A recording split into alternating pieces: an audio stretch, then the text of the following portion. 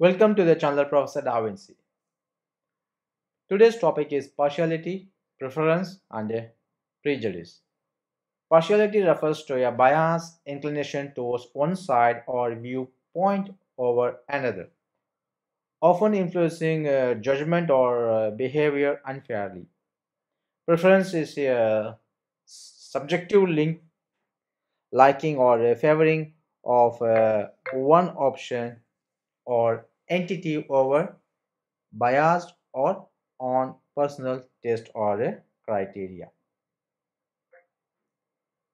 Prejudice involves uh, preconceived um, opinions or attitudes, typically negative towards individual or a group without adequate justification, often leads to discrimination or unfair treatment.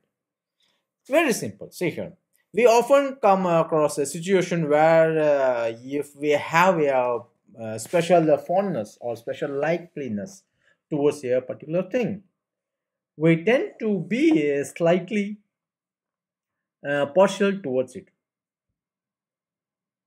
And this is in major cases many may, may affect the outcome or you can say it can uh, deviate the outcome in favor of certain things obviously of course we are influenced by the favor right? So this is the this is this uh, kind of uh, favoring towards the output or favoring towards the um, uh, something is called the partiality preference and the prejudice. Naturally it is uh, not the right way of uh, dealing with the data on a large scale so here, while you analyze the data, we should not deviate or we should not fall to the one category based on a personal interest. So this will uh, discriminate the output, right? So this partiality, preference and the prejudice towards a set of data is called a bias. It's called a bias. So as a result of this uh, partiality, preference and prejudice, there will be a biased result will be there. So this the act of having all these three things is called bias. Okay? So uh, in data science bias is a deviation from the expected outcome in the data. Suppose i expect the outcome as this is so this is the outcome. Okay? So based on a personal preferences my outcome is not like this but i favor the output. In i mean discriminate so in this case this is the actual I, I need to get but I get this output because of my personal preferences. So this kind of error is called a biased output or bias error. So in data science uh, bias is a deviation from the expected outcome in the data. Fundamentally we know I mean uh, we can also call bias as an error in a data. So fundamentally we can also say bias is the error in the data. Okay. However, it is observed that uh, this error is uh, indistinct and goes unnoticed. So, this kind of personal preferred uh, data is very hard to notice and it may go until the evaluation or analysis. So, the question to be asked here, why does bias occur in the first place? So bias is a very critical case. Okay, it will uh, deviate the output. So why why bias comes in the first place? So bias basically occurs because of sampling and estimation. So I erase this one. Sorry, I erase this one. So why the bias? Bias basically occurs basically occurs in a sampling occurs in sampling and uh, estimation. If you i mean if we would know everything about all the entities our data and would store information on all probable entities our data would never have any bias. However data science is often not conducted carefully on a controlled condition. So for example bias occurs very fundamental from the data collection so from where we get sampling? From the data collection. Data collection. Suppose for example, I have a questionnaire, some in a feedback form.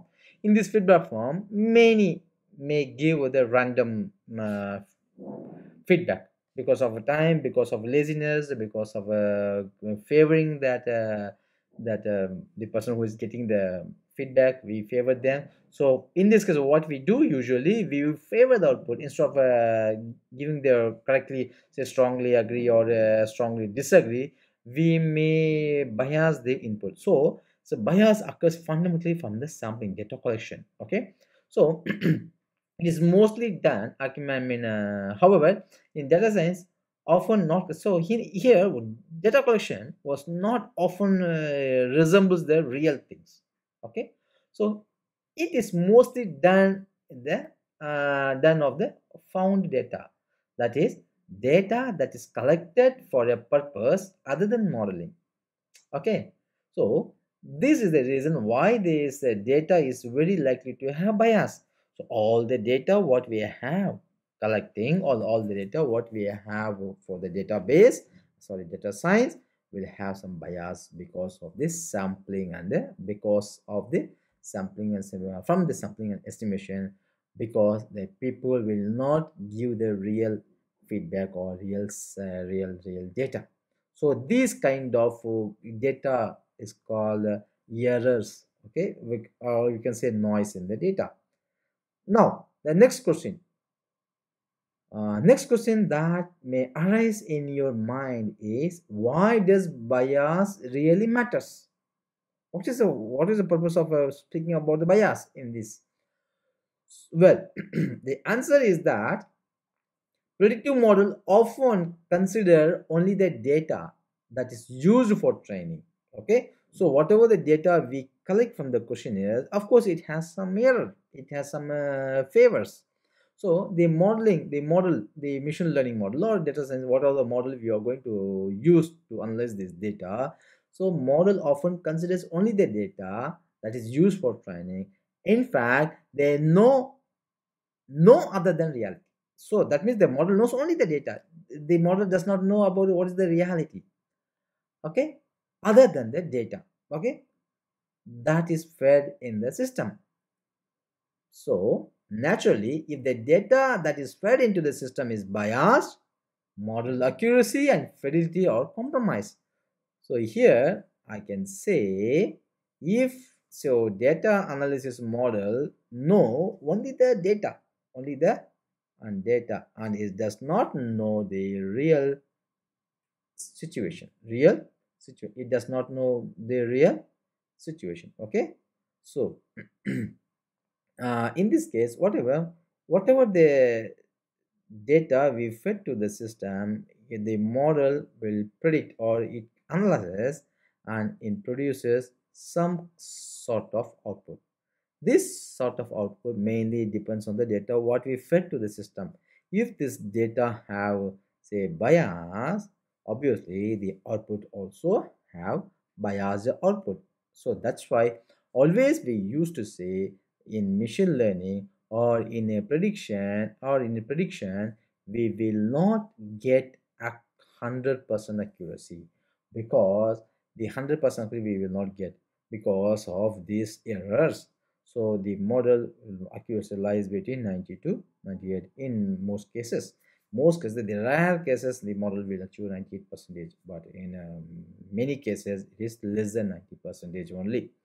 Okay so because if we give the wrong input, obviously it produces the wrong output. So this this is the one we have to very much concern about the bias. Now here we have four types of bias we have. First one is selection bias. Second one is linear bias. Third one is confirmation bias. Fourth one is um, recall bias. And the fifth one is a survivor bias. What is selection bias?